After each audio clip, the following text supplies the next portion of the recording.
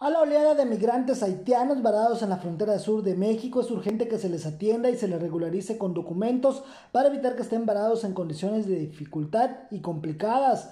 Wilner Meletus del Comité Ciudadano de Defensa de los Naturalizados y Afromexicanos llegó hasta Tapachula y explicó que son centenares de migrantes haitianos que hacen filas y no tienen la respuesta de las autoridades, por lo que es injusto que en plena pandemia estén en esta situación.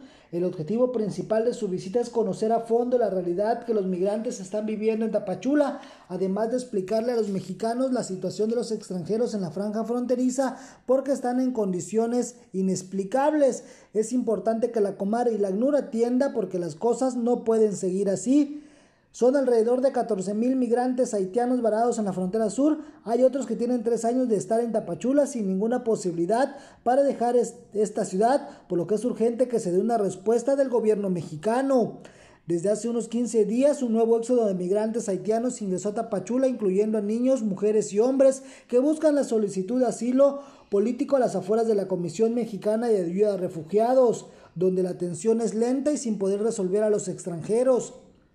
El activista destacó que en la estación migratoria siglo XXI existen unos 500 migrantes haitianos detenidos, por lo que reiteró el llamado al gobierno de México para que los libere y les otorgue un documento para que puedan circular libremente en territorio mexicano. Agregó que al interior de este inmueble existen migrantes con malas condiciones de salud y aparte las autoridades no difunden información en qué condición están. Meletus estará en una gira de tres días en Tapachula donde se tiene una agenda importante. Dialogará con el personal de la Comisión Nacional de los Derechos Humanos. Buscará representantes de migración y una asamblea de haitianos para conocer los grandes problemas que enfrentan, porque hay muchos que viven en cuartos de hasta 10 extranjeros exigió la liberación de todos los migrantes haitianos detenidos y su regularización para que puedan pedir refugio en Tapachula y también trasladarse hasta la frontera norte, lugar donde ellos buscan llegar.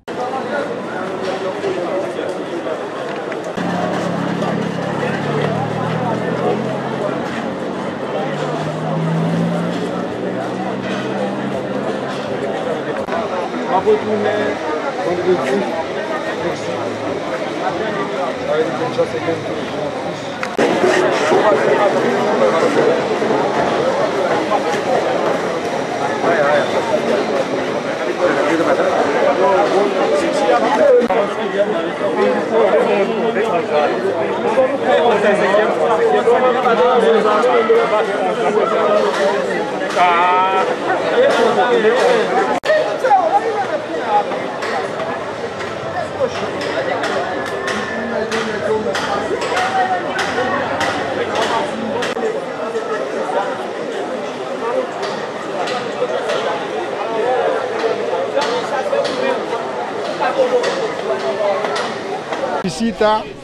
Es eh, de ver eh, la realidad que ellos están viviendo y, aparte eh, de eso para explicar a, los ciudadanos mexicanos de la situación y también para exigir al gobierno mexicano para regularizar a los haitianos que están viviendo en, esta situación. Es, una situación muy difícil para ellos. ¿Has visto llegar aquí a Tapachula, a la estación de la Comar y No, para mí yo veo es una situación muy difícil.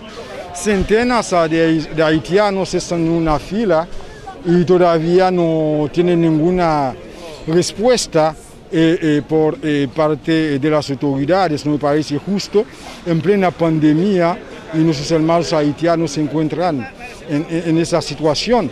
Es muy importante para ACNUR y también este, a, a Comara para resolver este, el problema inmediatamente ¿no? para los eh, migrantes haitianos y para regularizarlos.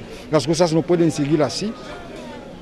¿Cuántos haitianos crees que hay en esta frontera sur, entre Chiapas, Oaxaca y toda esta franja en el sur del México? No, pero ahorita yo puedo decir hay más o menos casi entre 14 mil migrantes haitianos eh, varados. Pero hay muchos haitianos que tienen casi tres años, no hay ninguna posibilidad eh, para aquellos para salir.